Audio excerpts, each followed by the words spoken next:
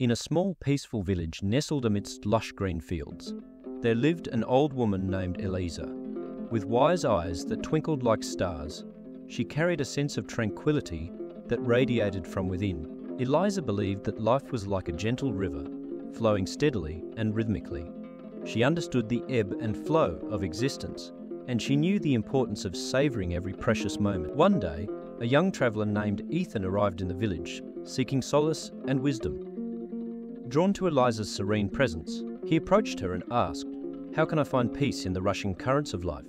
Eliza smiled, her voice a gentle breeze, and began to tell Ethan a story. In the heart of the village, there is a hidden garden, she said. This garden is a tapestry of colours and scents, brimming with flowers of every hue. Within this garden, time seems to slow down, and each moment is sacred. Curious, Ethan followed Eliza to the secret garden. As they entered, a sense of calm enveloped him. He marvelled at the beauty surrounding him the delicate petals, the soothing fragrance, and the vibrant dance of butterflies. Eliza shared her wisdom. Life is like this garden. Ethan, it is a tapestry of fleeting moments, each one unique and precious. Just as the flowers bloom and wither, so too does time flow. Embrace the present, for it is the only moment that truly exists. Ethan realised the truth in Eliza's words. He had spent so much of his life chasing after the future, always seeking the next milestone or achievement. But in doing so, he had overlooked the beauty and serenity of the present. From that day forward, Ethan learned to slow down and savour each passing moment.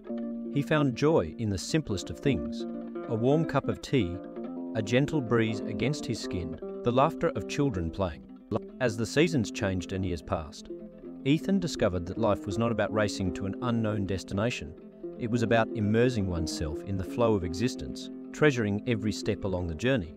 In time, Ethan became a beacon of tranquility, sharing Eliza's wisdom with others who sought solace and guidance.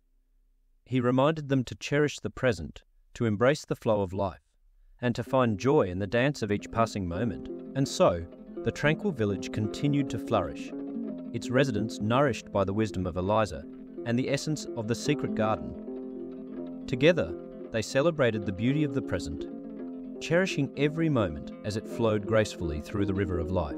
In this tranquil and powerful story, we are reminded of the importance of savouring every moment and embracing the flow of life.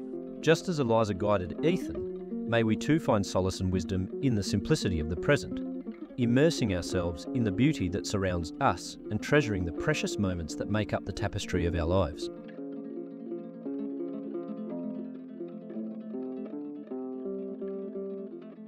Smash that like button if you haven't.